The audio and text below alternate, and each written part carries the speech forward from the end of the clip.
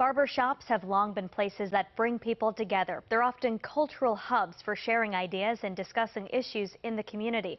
That's why elected officials chose local barber shops as the setting to hear directly from people. Caroline Forbach joins us live tonight. And Caroline, you had the chance to hear from those officials in what's being considered a historic collaboration.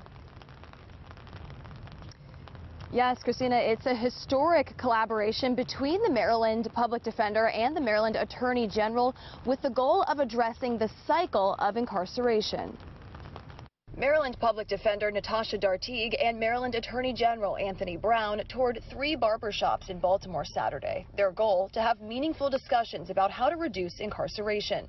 They heard from the community about issues like blight, difficulty getting a GED, and getting records expunged, as well as other factors that contribute to recidivism. Coming into this community is a step in and of itself um, as opposed to having us come to somewhere else or being in a different area.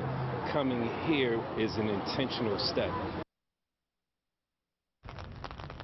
And people we spoke with today say it's not enough just to talk about the issue. That's why community leaders tell us they'll be having an expungement fair and a job resume fair at Park Heights Barbershop next month.